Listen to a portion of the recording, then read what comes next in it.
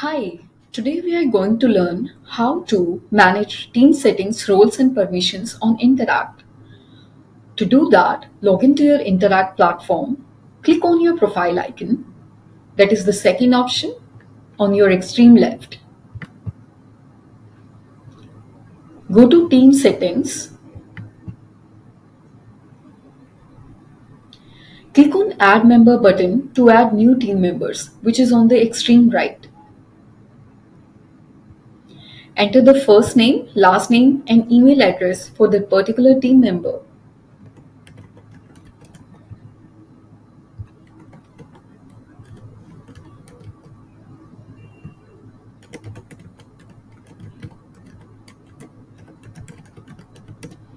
Select the role for the team member that you need to provide. For now, I'm selecting teammate. Select the country code Enter the phone number for the teammate. Click on Add Member button.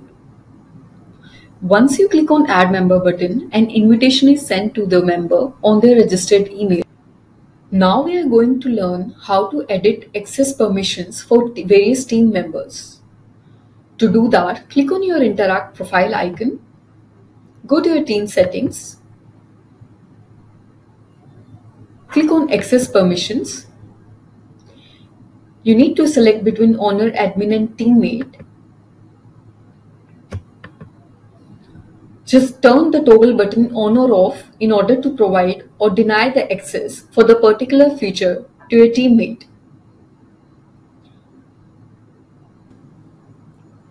Global option can be turned off if you do not want user phone number to be visible to your teammate.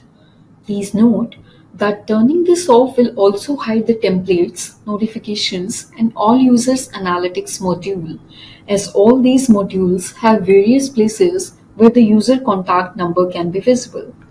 Please note that masking does not in any way impact the ability of an Interakt user to converse with an end customer using Inbox. Also, any member assigned as the role of owner has access to all the features by default which cannot be changed. By default, members assigned as admin or teammate won't be able to access team settings and access permission features. Thank you.